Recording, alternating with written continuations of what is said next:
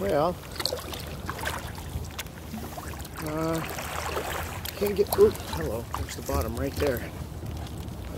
Three inches right there.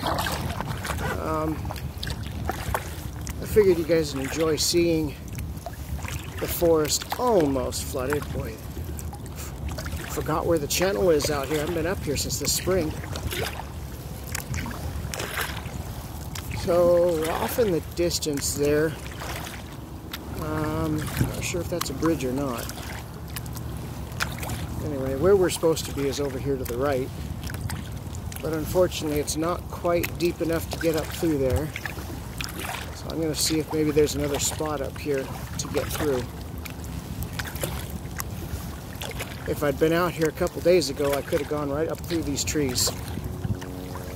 And I have in the past paddled through every bit of this, right through the center of the trees, not even in the channel. Water was foot, foot and a half deeper out here. And you could just go right through the middle of everything.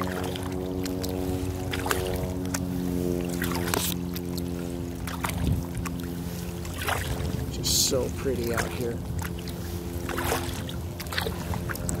Michelle, I hope you get to watch this. I'll tag you in this one especially because this is the area you haven't been able to get up into.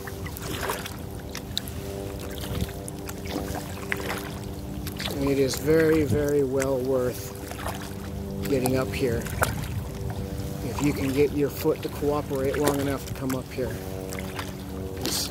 Where we're headed, the fourth bridge is off to our right, but I've got to find a spot to get through might be able to get through back in here. I remember coming through here once.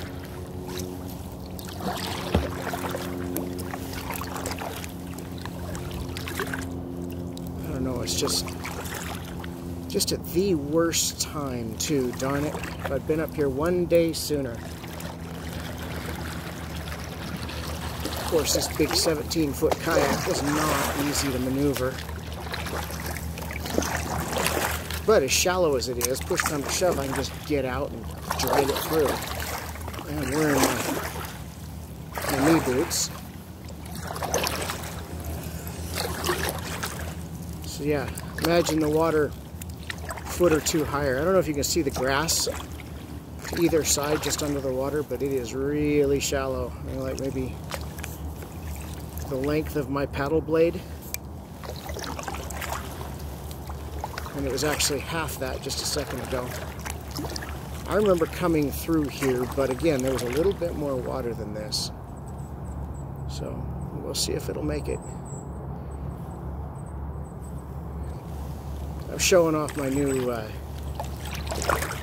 bracket, uh, camera bracket, phone mount, darn it. I'm preoccupied all you can see is the pump up there, my emergency pump on the, on the deck up there.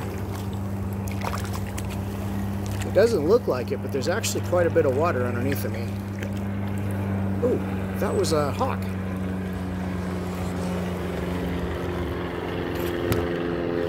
Come on, let go. Uh, darn it.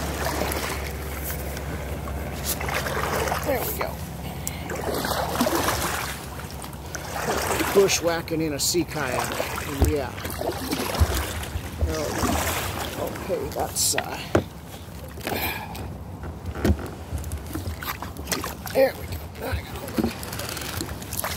A log underneath of me. I wouldn't do this with a fiberglass kayak.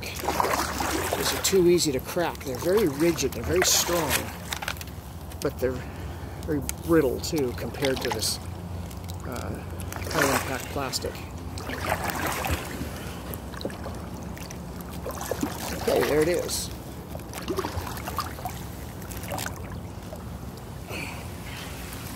Let's see if I can get through the last of this. The water's so shallow, I'm actually, the, the boat is touching the bottom. I don't know if I can get through here or not. I don't know if you can hear it, but yeah, I can't now. It just deepened up a little bit.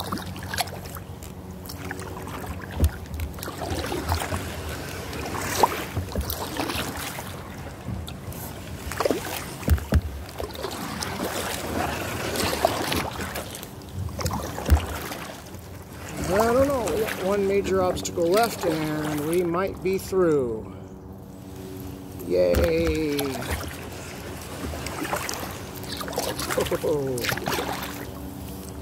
Dragon bottom.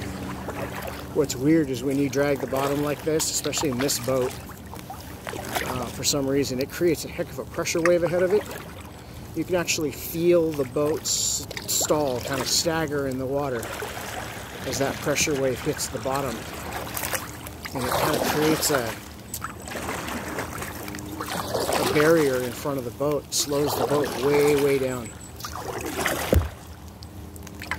I'm to stop this video and start another one here real quick.